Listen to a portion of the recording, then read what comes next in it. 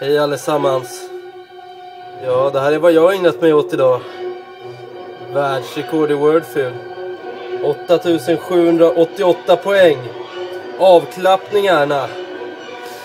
Det är ni. 2300 poäng mer än tvåan. Det har varit 27 timmar hårt arbete. 27 timmar ingen liv. Det är fredag kväll, jag dricker inte, jag umgås inte med kompisar. Jag bara Spela Wordfeud.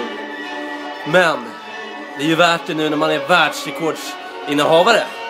Det är ni, det jävlar. Ha en trevlig fredagkväll på er allesammans.